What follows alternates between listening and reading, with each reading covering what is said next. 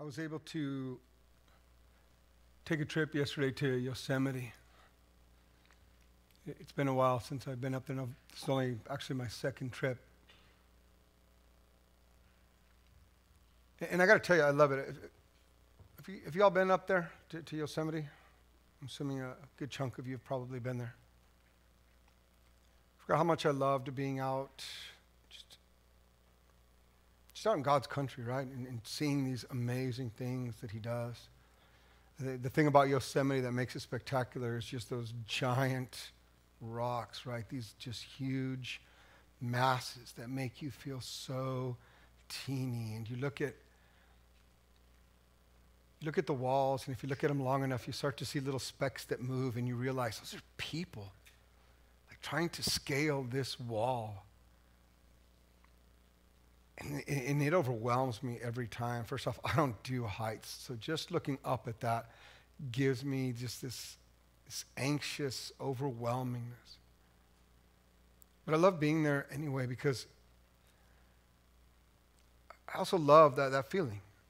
I love that feeling of being overwhelmed by nature, of realizing that there is so many, so much more to creation than just me and my world.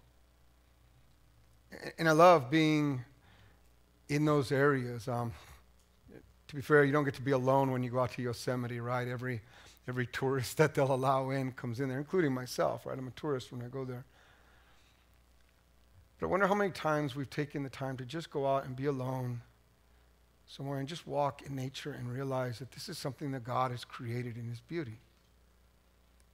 That, that inside of these giant, huge masses of rock,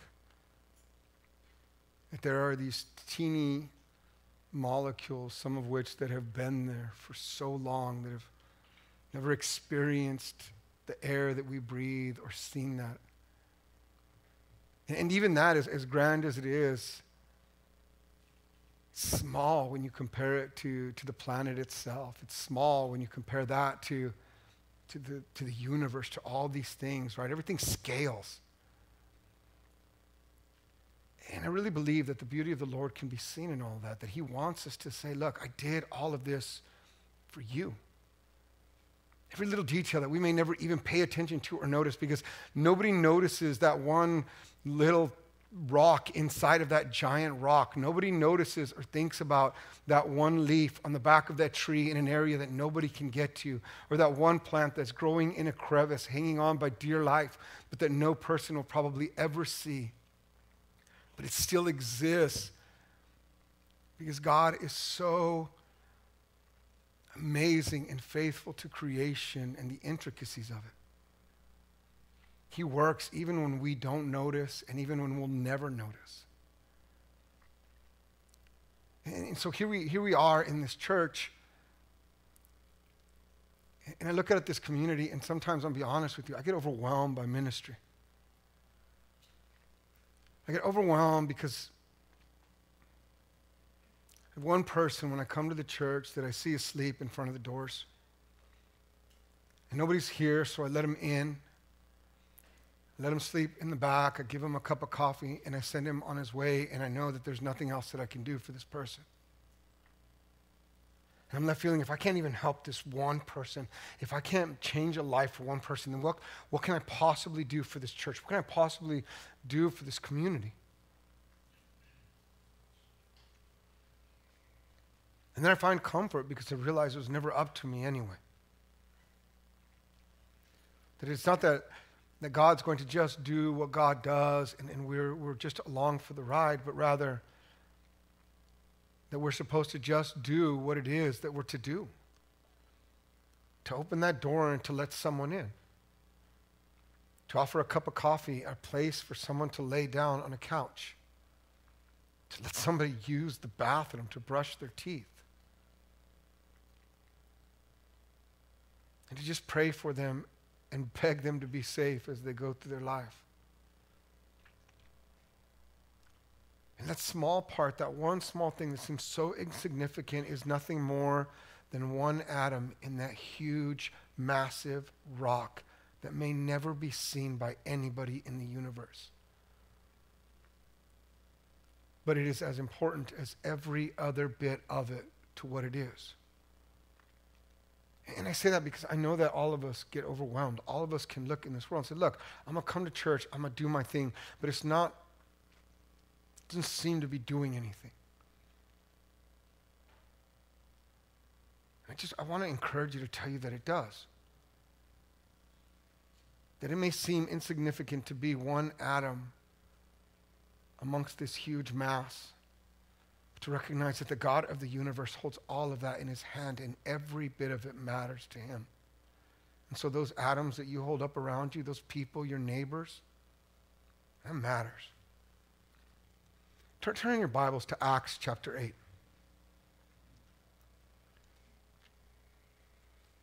We're going to begin in verse 26. Would you, would you rise to your feet as we read the word of the Lord together? I'm not giving you a whole lot of time to turn there, but I rambled a lot, so we probably need to get on with it. Beginning in verse 26. Then an angel of the Lord said to Philip, Get up and go towards the south to the road that goes down from Jerusalem to Gaza. This is a wilderness road. So he got up and went. Now there was an Ethiopian eunuch, a court official of, of, the of Candace, queen of the Ethiopians, in charge of her entire treasury. He had come to Jerusalem to worship and was returning home seated in his chariot. He was reading the prophet Isaiah. Then the Spirit said to Philip, Go over to this chariot and join it. So Philip ran up to it and heard him reading the prophet Isaiah, and he asked him, Do you understand what you're reading? He replied, How can I unless someone guides me?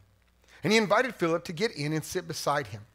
Now, the passage of scripture that he was reading was this Like a sheep, he was led to the slaughter, and like a lamb silent before its shears, so he does not open his mouth. In his humiliation, justice was denied him. Who can describe this generation? For his life is taken away from the earth. The eunuch asked Philip, About whom, may I ask you, does the prophet say this? About himself or about someone else? Then Philip began to speak and started with this scripture. With this scripture, he proclaimed to him the good news about Jesus. As they were going along the road, they came to some water. The eunuch said, Look, here is water. What is to prevent me from being baptized? He commanded the chariot to stop, and both of them, Philip and the eunuch, went down to the water, and Philip baptized him. When they came up out of the water, the Spirit of the Lord snatched Philip away, and the eunuch saw him no more, and went on his way rejoicing. But Philip found himself at Azotus. And as he was passing through the region, he proclaimed the good news to all the towns until he came to Caesarea. This is the word of God for the people of God. Thanks be to God. You may be seated. So I've been wrestling with this passage for the last, um, last week or so. And it really, it really wasn't until yesterday, until um, I was walking through that I kind of felt the direction I think might be, might be best for us for where we're at. And it's just to kind of imagine ourselves as a part of the story. And that's what we do as pastors. We, we, we find a passage, we find an idea in this passage, something that we're supposed to do, a lesson, right, that we've pulled from the passage. And then we focus on that and try to explain from the passage what this means to you, how you should apply it, so you can be better Christians. And that's awesome. And we're, we're going to do kind of that today as well. But I want to do it just a little bit differently because my, my big wrestling through this has been so who, who are we preaching from? Like, are we, are we the eunuch? Are we are we Philip? Are we, you know, the, you know, are we, are we the person driving the chariot? Like who and where are we in this passage? Where is God calling Mercy Springs? So here, here's what I want to do. I'm just going to kind of read it and we're going to kind of go through it and, and, talk about what this has to do, what it says. In, in 26, it says, An angel of the Lord, then an angel of the Lord said to Philip, Get up and go south towards the road that goes down from Jerusalem to Gaza. This is a wilderness road. We, we often skip over these first words in, in Scripture because for us, they're just um, the words that kind of tie things together, but they don't, they don't mean a lot to us. So we simply move on into the passage because we want to get into the meat of Scripture, right? We want to know what this part says to us. But when we see a word like then, that means that this is a sequence, right? That there's a story. I did this, then this. That this is a part of some sequential act that happened. And if it's a part of a sequential act, then to understand the context of this, of how it works, we need to understand, like, what is happening here? What is this then? What is this next step to? And so, what happens before this? What is it that is happening? And, and, just really quickly, in Acts 8, beginning in verse 4, it says, Now those who were scattered went from place to place proclaiming the word. Philip went down to the city of Samaria and proclaimed the Messiah to them. So here's Philip he goes down to Samaria and he says, I'm going to go proclaim the Messiah to the people in Samaria, in Samaria, right? Like, we're going to go talk about Jesus to them, tell them about Jesus. We're going to see how this works. This is how any ministry goes. Hey, I'm going to go over here and I'm going to share the gospel. Hey, I'm going to go over here and I'm going to share the gospel. So we're going to see how this goes. So he goes down, Philip goes down to the city of Samaria, proclaims the Messiah to them, and the crowds with one accord listened eagerly to what was said by Philip, hearing and seeing signs that he did. This is good stuff. This is like every evangelist's dream, right? This is every preacher's dream. I'm going to go share the word of the Lord, and people are eagerly going to come and listen to it. That's good stuff right there. We love that. So the people eagerly come they, with one accord. They're all, Shay, let's listen. This is good stuff. So they're listening to what he says, and, and, and they're seeing signs that he did, and unclean. Um, Unclean spirits crying with loud shrieks came, out, shrieks came out of many who were possessed, and many others who were paralyzed or lame were cured. So there was great joy in the city. So revival is happening over here in the city, right? Like, or not just revival, like Bible, because they haven't had it before, right? So I, I, I, I know I made up a word there, right? They're, they're, they're bringing Jesus. People are getting excited. They're listening. They're following. They're seeing things happening. This is good stuff. This is the goal, right? This is what we want. Am I right? I hope. I don't know. Maybe, maybe some of you agree. Okay, so this is what we want. This ministry is going well. And when you're ministering, when you're a pastor, when you're an evangelist, whatever ministry you do, whether it be the, the children's ministry, the youth ministry, whether you're, you're going out to Dia de los Niños, it doesn't matter what you're doing. When you do it and a bunch of people come and are changed and transformed by this work, what happens? You get excited. You're like, yeah, Woo! Good stuff. The Lord moved. We did great things. Praise God. I love it. That's awesome. And we want to do more and we get excited about those things, don't we? We want that. That's the goal. I'm not gonna lie, that's the goal for me. I love to come up and see the Lord do amazing things. This ministry was going so well, in fact, that it says in verse 14 that word gets out, and the apostles at Jerusalem heard that Samaria had accepted the word of God, so they sent Peter and John to join them. So, like, the work that they're doing there, this ministry is going so good, the apostles hear about it. Dude, the bosses at corporate heard about it. They're sending the CEOs. Like, they're coming to see this great work that they're doing. So, they're going down there, like, we're here. Hi, I'm Peter, John. Probably heard about us. We're the guy that made that guy dance. Yep. That's us, walked with Jesus, them, yep, no, no autographs, we're the man. Right? They're there to come see what's happening. This is a big deal. This ministry is just, it's taking names. This is an exciting thriving ministry. We all like those, don't we? So here's Philip in the middle of this amazing ministry that he's helped to, to bring about. And it says, Then an angel of the Lord said to Philip, Get up and go towards the south to that road that goes down from Jerusalem to Gaza. This is a wilderness road. So he's basically telling Philip, Go from this thriving, exciting ministry to a wilderness road that is isolated and seemingly lifeless. Huh? Philip goes from a place of successful ministry to an isolated place with little hope of success. I, bring this up because it's so important that in ministry, ministry is under the direction of God and not us.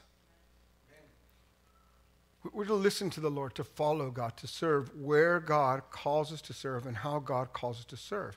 And, and it's important to remember that it's not about advancing our career, right? It's not even about our personal satisfaction. It's about others. And, and I know we all get that. I, I know we can say that, but we struggle with that. We all do. We struggle with making ministry about me.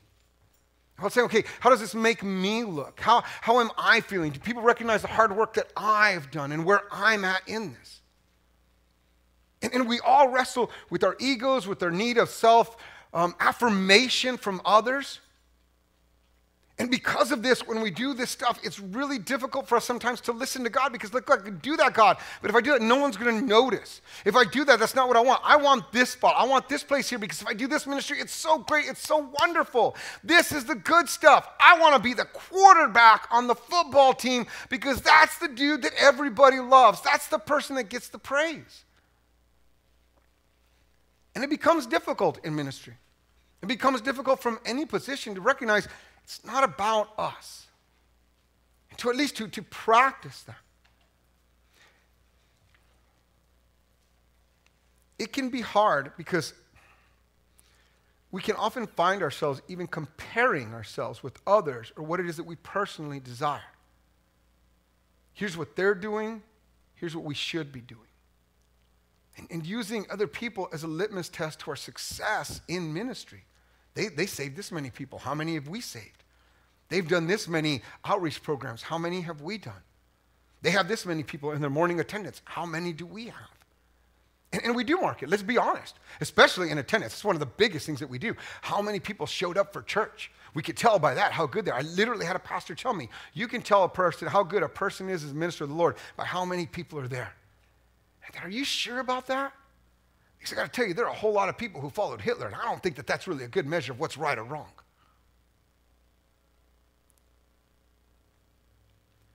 Ministry is not about comparing ourselves with others. It's not even about what we personally desire. It's about commitment. And it's about commitment that even we, we, struggle with, for example, in marriage. Right? I'm committed to you in the sense of I'm not going to cheat on you, but are we committed to people to allow them to be who they are, the way they're supposed to be, and to follow them and to encourage them? And the same thing for ministry. I'm committed to God, Lord. I'm not going to not going to cheat on you. I'm not going to go worship at some other temple. I'm not going to claim other thing. I'm going to be a Christian forever. I'm only going to be a Christian. I'll, I'll never, you know, never do one of those other things. And we call that commitment. I'll even show up to church once in a while, but we don't actually mean commitment in the sense of I'm committed to whatever it is that you want, God. And that's the commitment he calls us to. God doesn't call us to a commitment to say, I'm not going to worship other gods. He calls us to a commitment to all the way to follow him where he leads. And sometimes where he leads is crazy.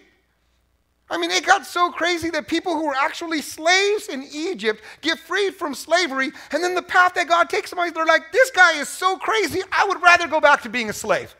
Like it seems so much nicer there. We had leeks and onions, and it wasn't that bad. They only whipped us once in a while. Then, the, yes, they killed some of our kids, but you know what? It happens. It's not as bad as this crazy God dragging me through the desert, wanting me to do this and do that. And I don't know where he's at. And then Moses disappears in the mountains for days. Who knows what's going on? I don't want to be that committed to God. But ministry requires this absolute commitment to God wherever and however he leads us. And this is where Philip's at. So what happens? He calls Philip and says, Hey, you got this wonderful ministry. It's awesome. Leave. I want you to go over there. There's nothing going on. And so what happens? He got up and went. He got up and went. And now there's this Ethiopian eunuch, a court official of the Candace, the queen of the Ethiopians, in charge of her entire treasury. He had to come to Jerusalem to worship. He had come to Jerusalem to worship and was returning home seated in his chariot. He was reading from the prophet Isaiah. Now, check this out. So, Philip gets up and goes. This is how we're supposed to do things. When God calls you, we get up and we go. I'm going to go do what God calls us to do. He gets up, he goes to this isolated road where he encounters an Ethiopian eunuch on his way back to Ethiopia after coming all this way to worship God. Now, I want us to understand a few things about this person that Philip goes to see.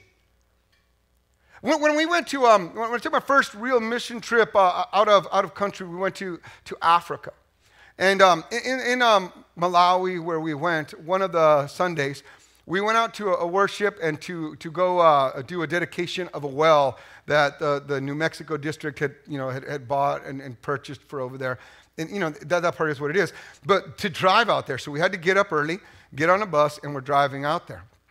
And this was like I want to say the best part of this road was about like driving on the Santa Fe grade. How many y'all ever driven on the Santa Fe grade up there, right? Yeah, like here's what you do on the Santa Fe grade. First off, you never drive your vehicle because it's going to die.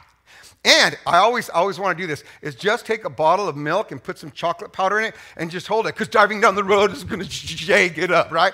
So this is this is good stuff. So that's this is the road, right? And, and so we go out there and we're driving for hours down this dirt road in the middle of nowhere to this teeny village. It looks like it's got like just four or five huts and that's it. And this little teeny church that has a roof structure on it. Um, there were the actually the four sides were there, but no windows and no doors right? So it's all open there. You go in and there's a dirt floor.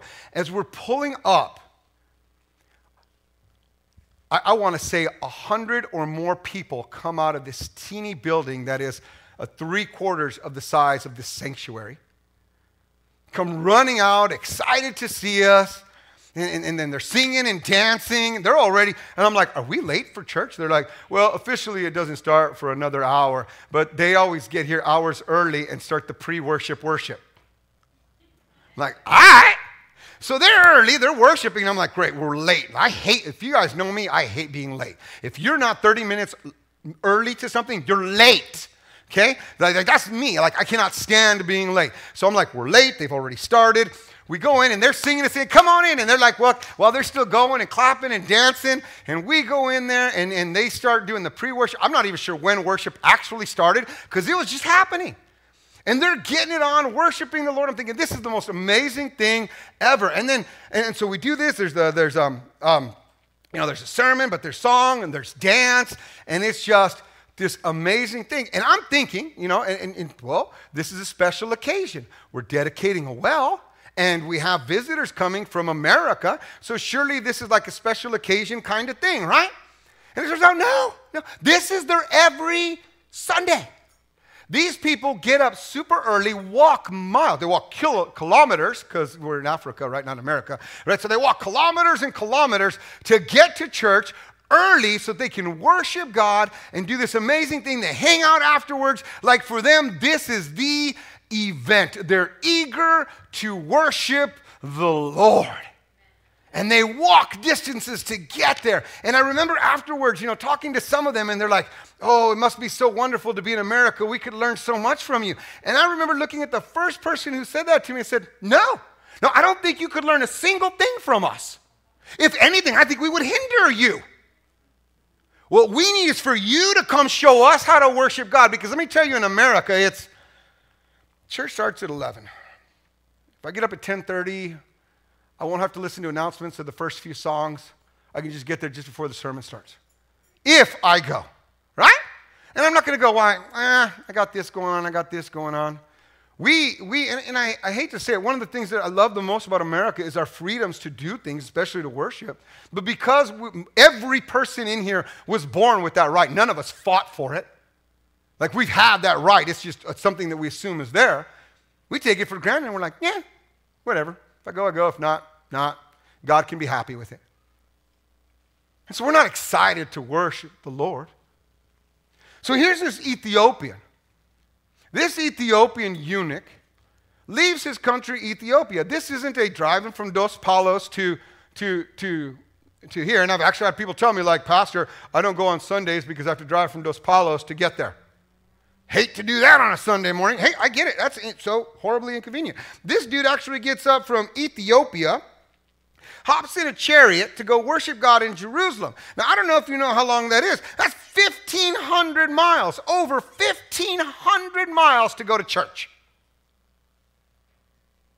And he's not taking an Uber, he's not flying. This guy's in a chariot and when you're, when you're cruising along like this, you, you might get 20 miles a day on the road, which means he went 75 days in advance at least to make it there. I can't stand driving 20 minutes to church. How about 75 days? Like, I'm not gonna lie. Look, I'm not, I'm not saying we should be that guy because I'm not gonna lie. I would probably check out at about two hours. Actually, I'm not gonna lie. I'm, I'm being generous. I'd probably check out more than that. I'm, I'm, I'm right? I'm quicker than that. I'd be like an hour drive, a half hour drive. I get it. I get it. 75 days in advance to go to Jerusalem to worship God, and then to go back 75 days again. It's 150 days of travel to worship God. How many are down? Yeah, I'm not even going to pretend to raise my hand because you know I'm not. This person is excited to worship the Lord. And, and, and listen to this, not just excited. This is a court official. So, so this person is traveling over there. Um, he, he has his own copy of the scriptures. He can probably afford to make this trip because he works for the queen in the treasury. You know, and so this has got to be what, like six months vacation time he's got to take to go do this? right? A couple months and a half there, a couple months and a half back, a little bit of time being there. Um, he's educated. He spent a great deal of time probably reading the Word of God. But here's the thing: he's not your typical Jew. He's an Ethiopian. And, and in this world, in this time, Ethiopia is, is the fringes of the known world. This is 1,500 miles away.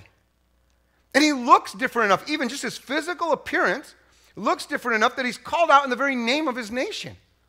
Because Ethiopia means a land of a people with burnt faces. Because this person is black, he looks this way, he looks different.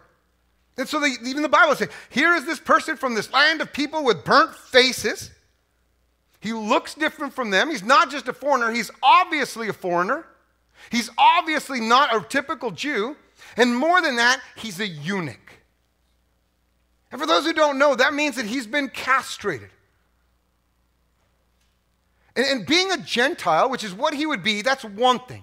To be a Gentile person who converts or who becomes a follower of God, that's one thing. That allows me certain privileges. I'm not full Jew because I wasn't born into it, but I can get right up there and I can participate pretty good in my worship being a follower of God. I can be proselytized into this sect. I can follow this. I can go through this. I can even be circumcised into this, this group and be sealed and marked as the people of God.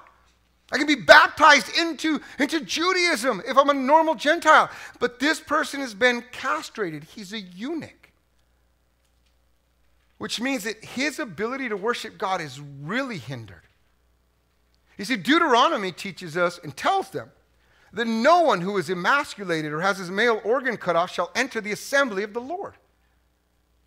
So this eunuch travels 1,500 miles, 75 days, to go worship God, knowing that he's not just going to be a second rate kind of worshiper of God in the assembly, but even further down than that, his worship is so limited because he's a eunuch. He could never fully participate in the worship of this God, Yahweh. He could never be a full Jew or a member of the assembly, the body of God, what we might call the church. His identity and his situation prevented him from being a full part of his people. I wonder how many today feel that way. Because I know that I struggled with this feeling like I could never really be a full part of the church because I wasn't raised in the church. I didn't have my parents run the church. And I've had a lot of people make me feel that way like, yeah, you're welcome to come here, but you don't really know our ways. You don't know how it is. We were raised here. My parents are charter members. So you need to kind of just, you're welcome to be here, but back off. We got it running. I was made to feel that way in churches. And I know that today that happens to a lot of people. I see it. And not even at the church level, I've seen it on our district, at the, at the district level. Like you, you're welcome to come and join us, but you'll, and, and we love you, we do. We're all going to be in heaven one day together, but right now you're second rate. You're not exactly one of us. You're welcome to come up, but you can only come that far. These are for the charter members. These positions here that we have, these are for other people. This worship coming this close to God, that's for them. You can't be a part of that. Look, it's not, it's okay. God has great, we love you the same, you just can't be the same. And I wonder how many people feel this way. so many different levels of church. And to be fair, many times the full members of the church we make sure that other people know that they're second rate members. And this is such a heartbreaking and, and absolutely, I want to say evil, but definitely counter to the gospel idea. This Ethiopian eunuch knew that his place was limited. But he still found it important to be as involved and integrated into the assembly as he could. I think we could learn a lot just from that. See, even when you feel outcasted, I, I want to encourage you to fight for your spot in the community. I'm going to tell you that right now. You belong here. You belong where God calls you, and don't let anyone stop you. I, have seen people try to stop my people and say, yeah, you can't because of this or because you're a woman or whatever. I'm going to tell you, don't let anyone stop you. And if they do, let me know. I'll go to bat for you. You belong here. Then the Spirit said to Philip in verse 29, Go over to this chariot and join it. So Philip ran up to it and heard him reading the, the prophet Isaiah, and he asked, Do you understand what you're reading? He replied, How can I unless someone guides me? And he invited Philip to get in and sit beside him. The Holy Spirit sends Philip to this Ethiopian eunuch. He doesn't tell the eunuch to go to Philip, he sends Philip to walk with him. Catch that? Philip's already a successful evangelist. Philip is a successful pastor. Philip is doing some really great work. He's got proof over there. His work is so great that the higher up CEOs of the corporate church, whatever you want to call it, the apostles themselves, the we walked with Jesus men, went to go check out his work. I'm that Philip. And that Philip doesn't tell the eunuch, Well, you come to me and I'll help you? He goes to the eunuch and then he walks with him on his path. Because ours is not to sit here and wait for others to come or to meet certain requirements before they can be a part of this. Ours is to go to others and to walk with them on their road where they are at. That's scary and that's difficult. And this eunuch is certainly knowledgeable about the scriptures. This eunuch is certainly educated, has read it, knows a lot about it. This eunuch could easily probably have taught Philip some things. After all, Philip was a Greek converted to this. Like, what do you know, Philip? I was raised in this way. I've been studying it forever. Dedicated, I'm so dedicated. I just drove 1,500 miles to go worship God. Been reading the scriptures, got my own book here, or my own scrolls. But this eunuch who's knowledgeable about the scripture, when Philip, a stranger, asks him if he understands, he doesn't allow himself to be offended. How dare you try to question me if I understand? Instead, he responds with humility and then he invites Philip to join him in his space. See, we need, when people come to us, to, to show humility and invite them into our space. Because regardless of how long or how well we've studied God's word, we must always be humble enough to recognize that we need continuous guidance. Now, the passage of the scripture that he was reading was this Like a sheep, he was led to slaughter, like a lamb silent before its shearer, so he did not op- does not open his mouth. In his humiliation, justice was denied him. Who can describe his generation? For his life is taken away from the earth. The eunuch asked Philip, About whom, may I ask you, does the prophet say this? About himself or about someone else? Then Philip began to speak and started with the scriptures, with this scripture he proclaimed to him the good news about Jesus. Philip explains to this foreigner, to this foreign Ethiopian eunuch, that this passage about injustice to an individual is about Messiah. It's about Jesus. It's about his God, his creator, his Savior about how this God became flesh and made himself subject to humiliation, made himself subject to marginalization. He made himself subject to being outcast and treated unjustly. He shared the good news about how this Jesus would also fulfill God's promise that he made through the prophet Isaiah specifically to someone like this eunuch in, in chapter 56 when he says, Do not let the foreigner joined to the Lord say, The Lord will surely separate me from my people. And do not let the eunuch say, I'm just a dry tree.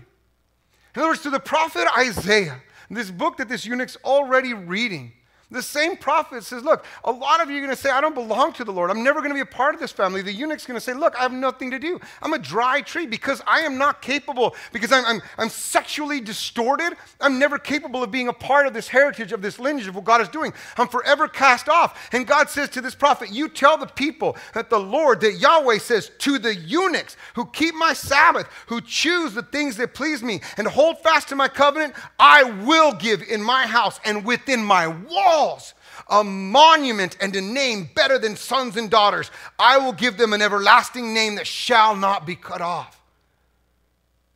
And this is a message of hope that speaks directly to this person. This is what it means. He offers him the gospel, he offers him good news. We so often think, well, the gospel, the good news, has to be the thing that's good news to us. It's good news. And yes, the good news that we have, the good news that we've learned that through Christ there's eternal life in his presence, that's great news. That's awesome news. To this eunuch, that would have been great news too. But the real good news to this eunuch is that I don't have to worship this God that I love, that I'm dedicated to as a third rate citizen. He's going to make me a monument, bring me inside of his wall, say, right here, you're one of my people. That's good news. He offers him the good news that through Jesus, there's full restoration into the people of God. And no previous conditions would prevent this foreigner, this eunuch, from fully participating in the worship of the Lord his God. Which is why he can say, as they were going along the road, they came across the water, and the eunuch says, Look, here's water. Finally. What is to prevent me from being baptized? My existence, my life, my race, the things that were done to me, everything has prevented me from being a full part of the people of God. But now, because of Jesus, now that you've told me this, I know that's gone. So, what prevents me now? You tell me. What prevents me from being baptized, from becoming fully the people of God. His marginalization and, and his stigma in society, they couldn't prevent this. They can't prevent his marginalization because this is the gospel. See, this is the message that we need to be sharing with this world. And I know I, I, probably sound like I'm just I'm beating a dead horse or like I keep beating the same drum. But we're not called to be a people to go out into the streets and, and just walk up to people and say, hey, do you know Jesus, your Lord and Savior? If you died today, would you go to heaven or hell? Because that's not what this book teaches. The gospel of Christ is beyond that. It's eternal and it's now. It says, Here's the good news.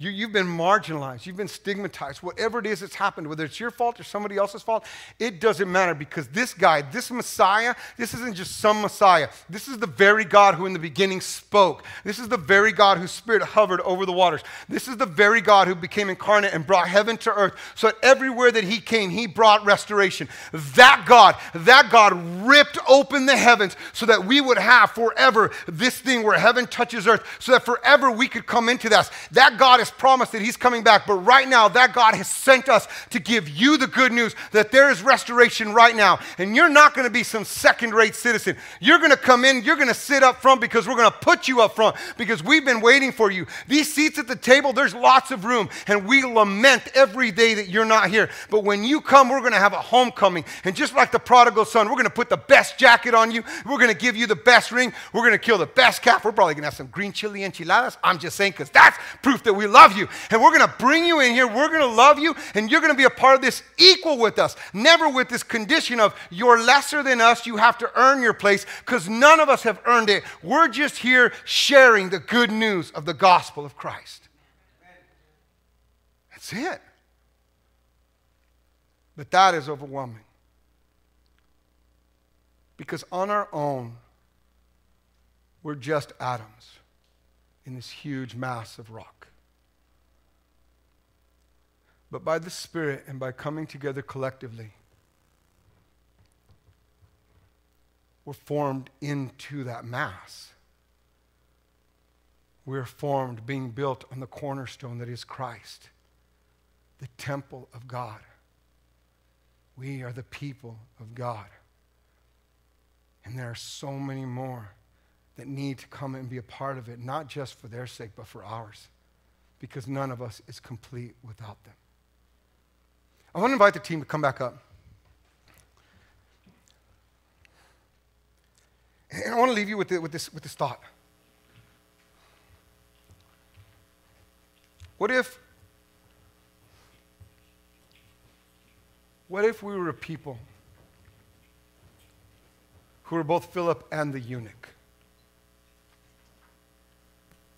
What if we recognize that we all, every one of us, are Gentiles who've come into this, we're grafted into this amazing tree This amazing, relentless God who's called us to be a part of his royal priesthood. And then we, what if we, we got excited about this? And we're willing to do whatever it took to worship God, to be there at every single moment, every opportunity to be the people of God, to strengthen, to recognize that worshiping God isn't some right that we have, but it is the fulfillment of who we are. That, that if we were to follow the heart of God, then we could be real. And, and what if also, like Philip, we we're willing to go out into this world and share that? And go wherever it takes. Saying that sometimes, you know what, maybe my ministry isn't this wonderful thing here that everyone's looking at, but my ministry is this wonderful thing out here on this lonely road in the wilderness for one person who feels marginalized. Because that entire mass of rock is built one atom at a time. It may not seem like it matters to anyone, but you know the old adage, it matters to that one person. Want us to seek that, to be that, to be that people who'd say, I'm going to do whatever it takes out of this love to reach others and to help them to see and to know the good news, the gospel of Christ. He is the God and the Savior. He is our Messiah